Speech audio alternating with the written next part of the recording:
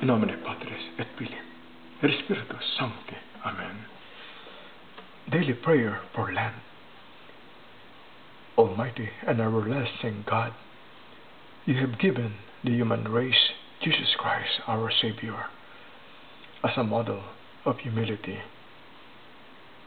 He fulfilled your will by becoming man and giving his life on the cross.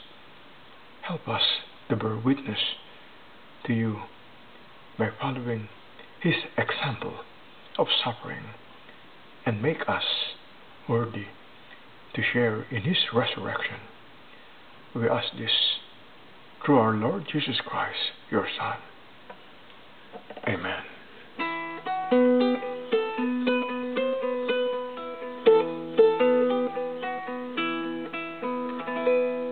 In nomine Patris et Filii Espírito.